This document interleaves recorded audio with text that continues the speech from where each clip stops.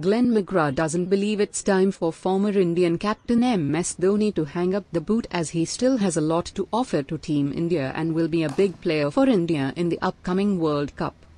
Dhoni, the only captain to win all three ICC events, was in horror form with the bat in 2018 but bounced back strongly this year, slamming three successive half-centuries in Australia and Glenfields that was the reason India won the ODI series down under.